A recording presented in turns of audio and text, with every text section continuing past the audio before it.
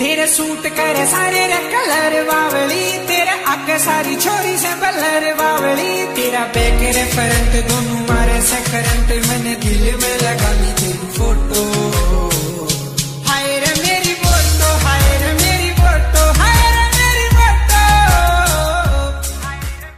Defence lovers स्वागत है आपका डिफेंस ज्ञान सीरीज़ के फ्रेश एपिसोड में। पिछले डिफेंस अपडेट में हमने भारतीय रक्षा मंत्री के लद्दाख विज़िट के दौरान वायरल हुई एक इमेज के बारे में बात की थी। और इस इमेज के वायरल होने का मुख्य कारण था पैरा कमांडोज द्वारा इस्तेमाल की जाने वाली नई स्नाइपर राइफल और नए बैलिस्टिक हेलमेट लेकिन इस वायरल इमेज से जुड़ी ऐसी और भी कई जानकारियाँ थी, जिनको हम अपने डिफेंस अपडेट में कवर नहीं कर पाए थे। और इसलिए आज के एपिसोड में हम आपको इस वायरल इमेज से संबंधित कुछ डिटेल्स देने वाले हैं। So without wasting time let's begin अगर आप इस वायरल इमेज को ध्यान से देखेंगे तो आपको इसमें तीन चीज़ें सबसे ज़्यादा आकर्षित लगेंगी। पहला गिली सूट पहना हुआ स्नाइपर दूसरा उस स्नाइपर के हाथ में एक बेहतरीन Sako T R G forty two sniper rifle और तीसरा एक नया एक्स फिल का हाई कट बैलिस्टिक हेलमेट तो सबसे पहले बात करते हैं Sako T R G forty two sniper rifle की। तो ये फिनलैंड ओरिजिन की बोल्ट एक्शन स्नाइपर राइफल है, जिसमें point three three eight Lapua magnum यानी कि 8.6 point six into seventy M की कार्ट्रेज इस्तेमाल होती है और इसकी इफ़ेक्टिव फायरिंग रेंज 1500 मीटर तक है और ये डे नाइट ऑप्टिक्स के साथ आती है। और इस स्नाइपर राइफल के कई अलग अलग वेरिएंट हैं, लेकिन इसमें जो दिखाई दे रहा है, उसका नाम है Sako T R G forty two जो की एक नए फोल्डिंग स्टॉक डिज़ाइन और मैक्सिमम कार्ट्रेज लेंथ के साथ आता है।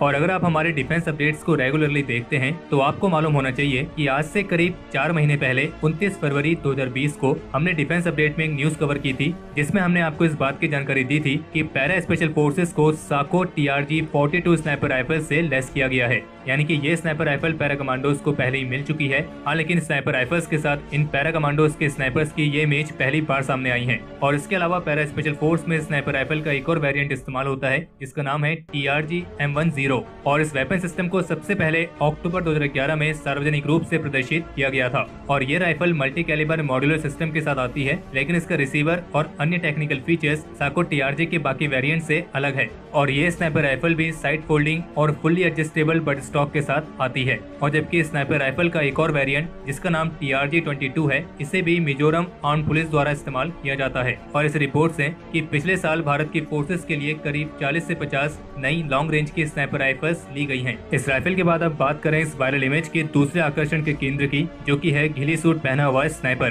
तो घिली सूट क्या होता है और क्या करता है? इसके बारे में तो शायद आप में से हर किसी को मालूम ही होगा। लेकिन जिन्हें मालूम नहीं है, उन्हें हम बताना चाहेंगे की उनके लिए हम घिली सूट आरोप एक स्पेशल वीडियो बहुत पहले बना चुके हैं। और अगर आपने वो वीडियो नहीं देखी है तो उसका लिंक आपको इस वीडियो के आई बटन में मिल जाएगा और इस वीडियो को देखने के बाद गिली सूट को लेकर आपके जितने भी सवाल हैं, उन सभी का आपको जवाब ज़रूर मिलेगा। अब बात करते हैं इस वायरल इमेज के तीसरे सबसे आकर्षण के केंद्र की, जो की है एक्सफिल का बैलिस्टिक हेलमेट अगर आप इस इमेज को थोड़ा जूम करेंगे तो आपको मालूम पड़ेगा कि जो एक्सपेल बैलिस्टिक हेलमेट है, ये अमेरिका में बने हैं। और इस हेलमेट के ऊपर साफ़ साफ़ लिखा है मेड इन यूएसए ये एक bolt less hybrid composite shell के साथ आने वाला बैलिस्टिक हेलमेट है, जिसे इस तरीके से डिज़ाइन किया गया है ताकि ये हर एक इंडिविजुअल की हेड शेप के अनुसार उसे बिल्कुल फिट आए। और साथ ही इसमें नाइट विजन डिवाइसेस जैसे एक्सेसरीज को भी इक्विप करने के लिए स्पेस दिया गया है। और इन हेलमेट्स को मैन्युफैक्चर किया है टीम वेंडी ने, जो की हेड प्रोटेक्शन के लिए अलग अलग तरह के हेलमेट्स को मैन्युफैक्चर करने के लिए मशहूर है। और इस एक्सफिल हाईकट बैलिस्टिक हेलमेट का इस्तेमाल दुनिया भर की कई अलग अलग फोर्सेज द्वारा किया जाता है। हालाँकि जो हेलमेट है, ये स्पेशलाइज यूनिट्स के लिए लिमिटेड नंबर्स में लिए गए हैं। बाकी अगर आपके मन में ये सवाल है कि क्या इस तरह के बैलिस्टिक हेलमेट्स वाकई में बुलेट प्रूफ होते भी हैं या नहीं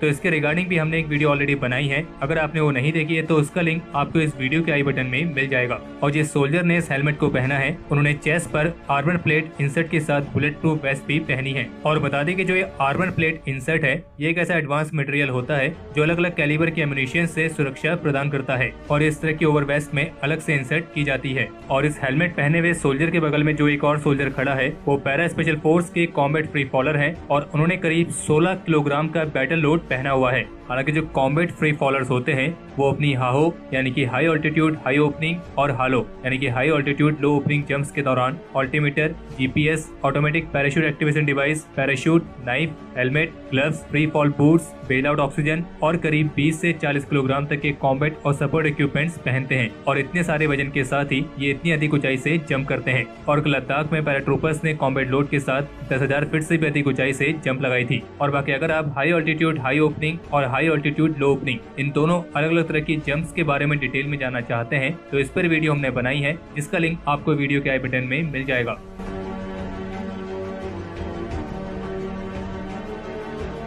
तो हमारे आज के इस एपिसोड के लिए इतना ही। अगर आपको ये एपिसोड पसंद आया हो तो इस वीडियो को लाइक करें, और अगर आपका कोई सवाल या फिर सुझाव हो तो उसे कमेंट सेक्शन में शेयर करें। बाकी अगर आपने इस चैनल को सब्सक्राइब नहीं किया है तो इस चैनल को सब्सक्राइब करना ना भूलें। thank